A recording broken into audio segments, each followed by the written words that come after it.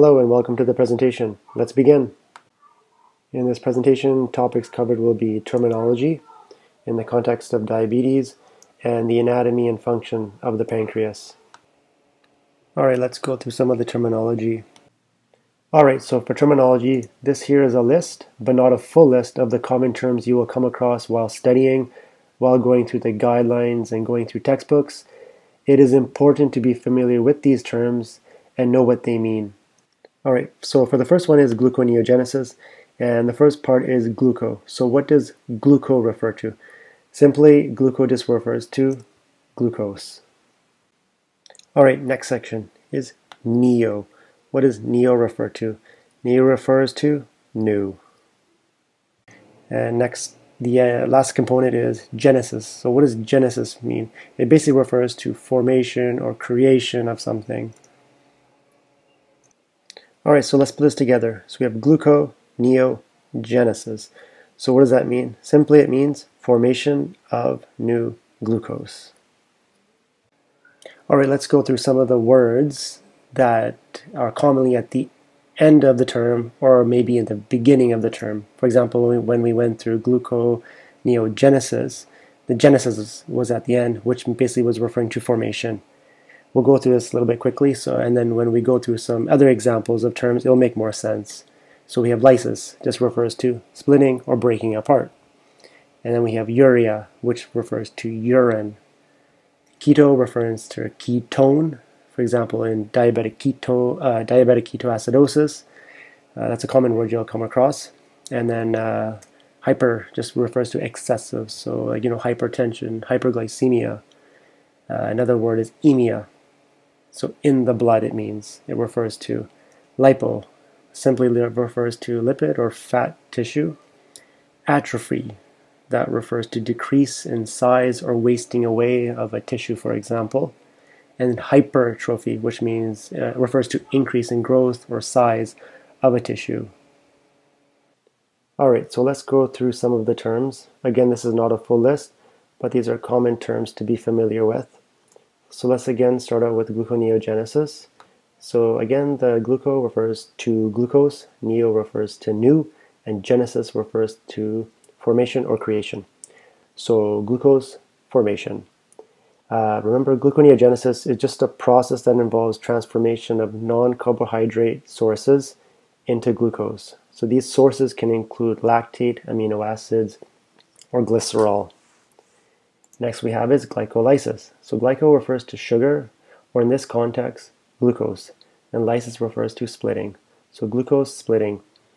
Uh, remember, glycolysis is a common metabolic pathway in cells where energy is uh, made in the form of ATP.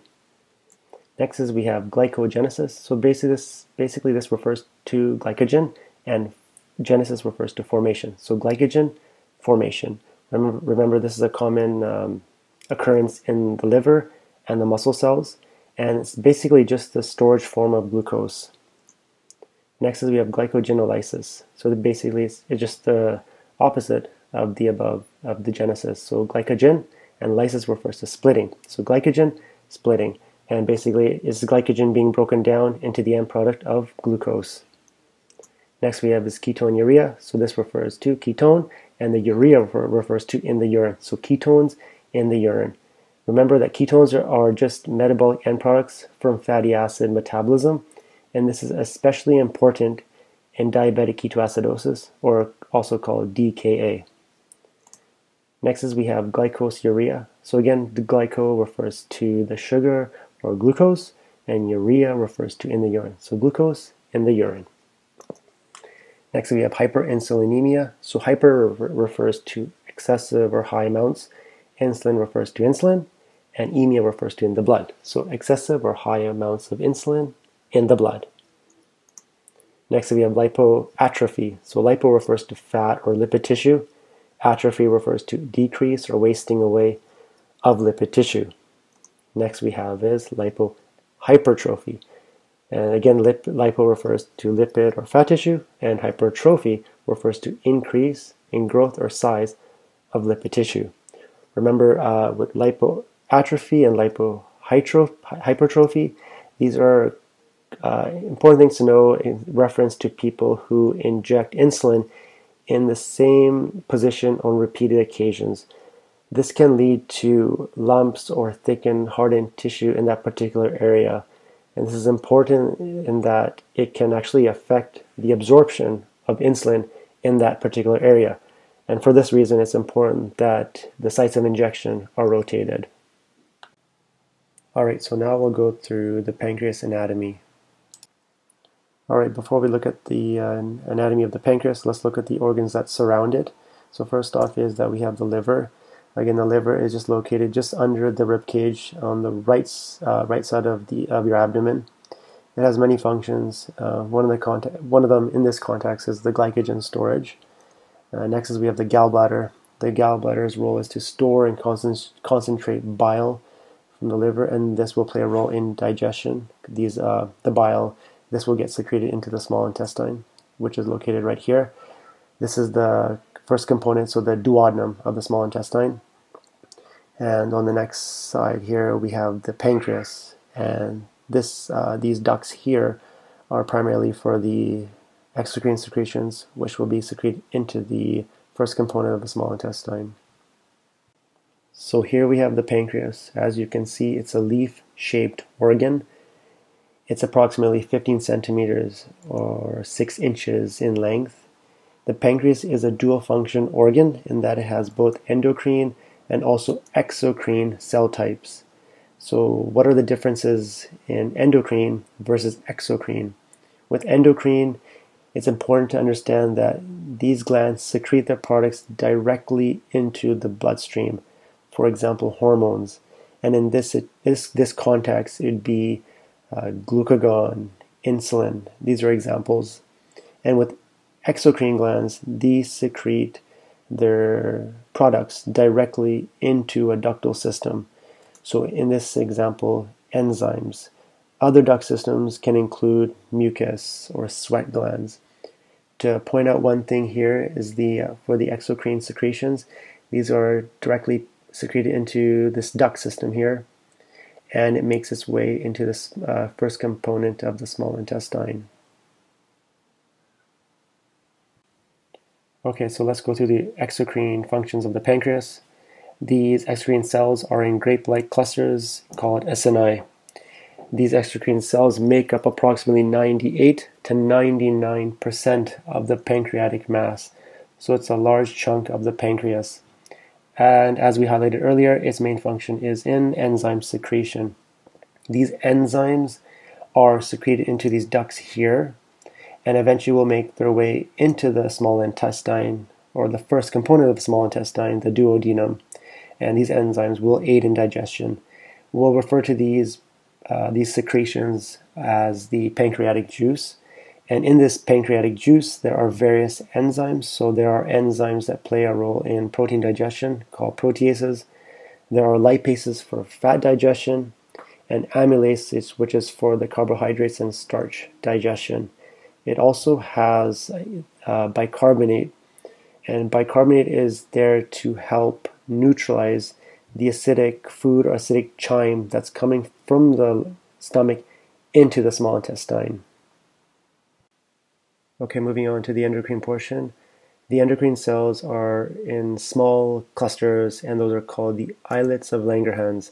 Again, there are many of these on the pancreas, and the these islets, uh, the endocrine cells, they comprise about one to two percent of the pancreatic mass, whereas with the exocrine, that was about ninety-eight to ninety-nine percent.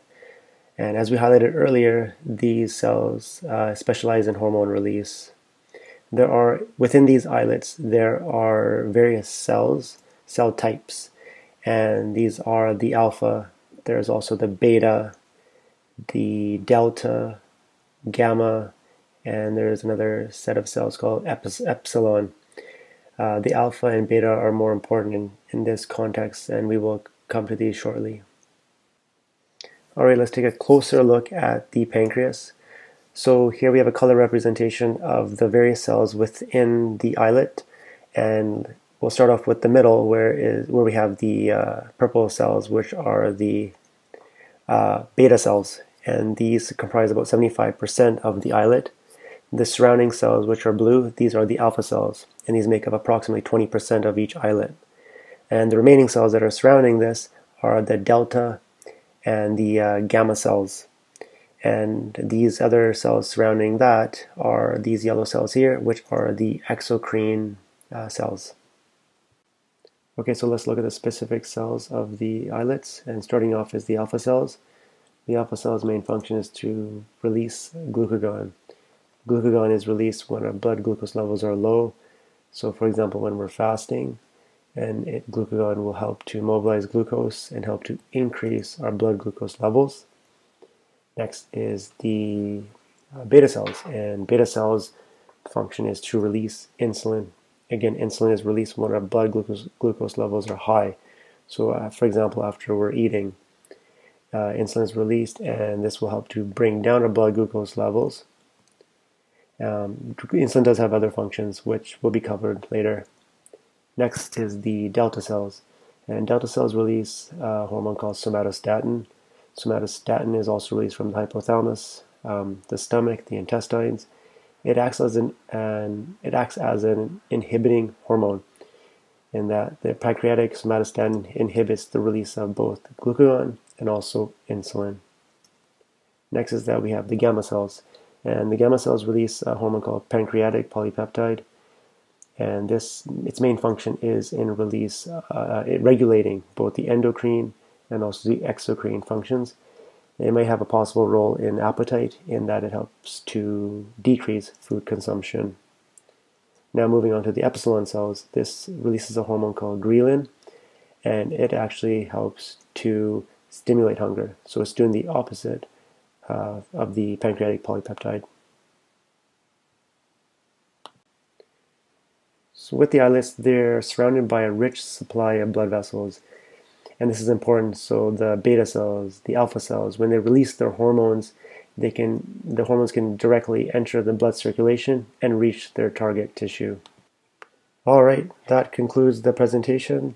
I hope you found this helpful and thanks for watching.